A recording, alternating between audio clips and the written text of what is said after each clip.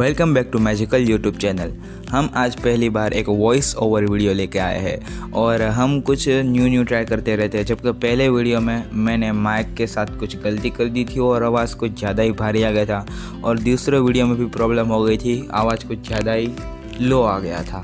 और इस बार हम ट्राई कर रहे हैं वॉइस ओवर का वीडियो और अगली बार हम ट्राई करेंगे इंग्लिश का वीडियो और आज का हमारा जो टॉपिक है my top ten favourite fantasy book series ये वीडियो मैंने वॉइस ओवर में इसलिए बनाई है क्योंकि मेरे पास ये टेन बुक सीरीज़ अभी अभी अवेलेबल नहीं है।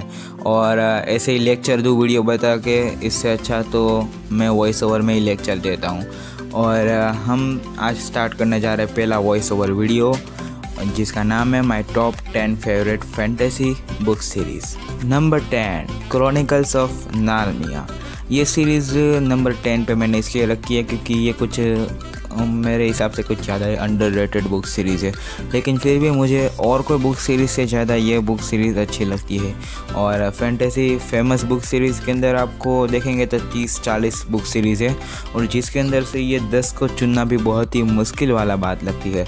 और हम यहाँ पर क्रॉनिकल्स ऑफ़ नानिया का छोटा सा इंट्रोडक्शन देते हैं कि क्रॉनिकल्स ऑफ़ नानिया के अंदर एक तीन या चार बच्चे कुछ होते हैं जो एक अलमारी से एक नई दुनिया नई नई दुनिया पे पहुँच जाते हैं, जिसका नाम है नारनिया। और उधर हमको देखने को मिलता है बोलते जानवर वाइट वीच ड्रैगन्स बैटल्स और बहुत कुछ। और, ये सीरीज़ मैं इसको नंबर टेन पे ही रखने वाला हूँ, क्योंकि ये कोई ज़्यादा ही छोटे बच्चों जैसी, उसकी स्टोरी जैसा लगता है।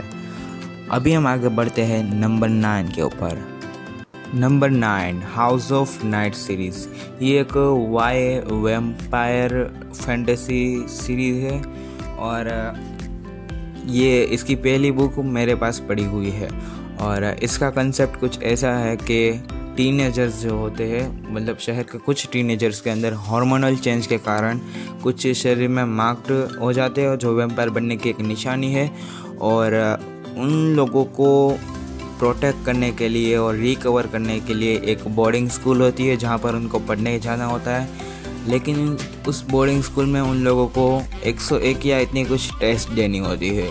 और टेस्ट में पास होना ज़रूरी है और अगर फेल हुए तो उनकी सज़ा सिर्फ़ मौत है।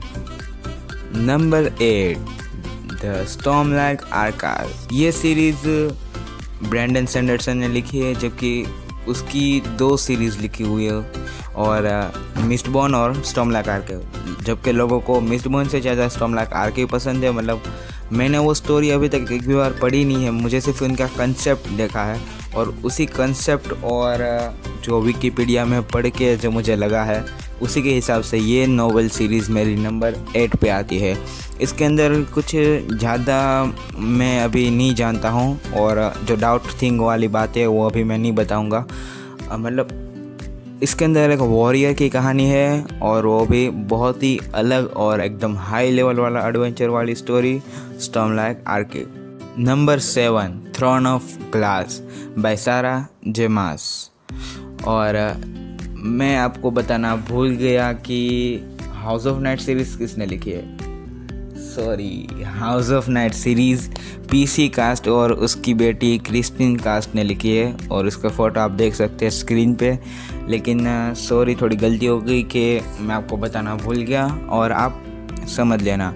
और बाकी हम यहाँ पर पढ़ते हैं थ्रोन ऑफ़ ग्लास के ऊपर। थ्रोन ऑफ़ ग्लास सारा जमास ने लिखी हुई पहली बुक सीरीज़ है और इसका कंसेप्ट तो बहुत ही बढ़िया है। एक लड़की जिसको मौत की सज़ा सुनाई जाती है, लेकिन उसको बचने की भी एक जगह है। अगर उसको बचना है तो एक वॉरियर या एक बोले तो मतलब हिंदी में एक योद्धा, और उससे लड़ाई करनी है, लेकिन वो बहुत ही पावरफुल था।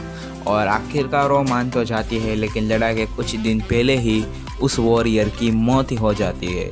अब उसे ये ढूंढना होगा कि उस वॉरियर की मौत कैसे हुई, क्यों हुई, और ये सब तो उसे करना ही पड़ेगा अगर उसे ज़िंदा रहना हो तो। नंबर सिक्स ब्रोकन अम्पायर ये एक डार्क फैंटेसी नॉवल सीरीज़ है, और ये मुझे बहुत ही ज़्यादा पसंद है, लेकिन फिर भी सारे लिस्ट के सामने ये समय नंबर सिक्स पे रहूँगा। एक प्रिंस होता है, जिसके पापा पहले से मर जाते हैं और ये थोड़ा सा मतलब ये थोड़ी डाउटफुल थिंग है फिर भी मैं आपको बताना चाहूँगा कि उसके पापा बचपन से ही मर जाते हैं और अभी तो वो सिर्फ़ टीनेजर ही हुआ था कि उसके सामने उसकी माँ और उसकी बहन की मौत भी हो जाती है। अब उसे एक जंगल में रहना होता है और फिर उसने परिवार का बदला भी लेना है और बड़े होकर अपनी राजगादी या थ्रोन या जो भी बोले, वो वापस लेना है।